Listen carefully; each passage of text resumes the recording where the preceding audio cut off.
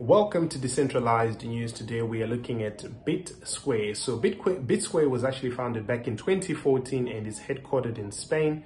It's an open source decentralized desktop application that allows users to buy and sell Bitcoins in exchange for national currencies or alternative cryptocurrencies. So users of the application are able to add their national or cryptocurrency accounts, uh, create new offers or take uh, uh, an existing one and follow the user um, uh, interface to finalize their trade. So BitSquare actually makes it possible for platform users to who do not want to forfeit control or privacy to a central authority to anonymously trade with others.